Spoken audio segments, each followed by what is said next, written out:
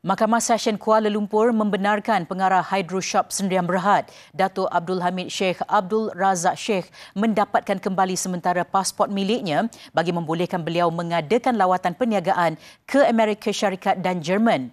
April tahun lalu, Dato' Abdul Hamid Sheikh mengaku tidak bersalah menawarkan rasuah 7.5 juta ringgit kepada seorang ahli perniagaan bagi faedah bekas Menteri Komunikasi dan Multimedia ketika itu, Tan Sri Anwar Musa.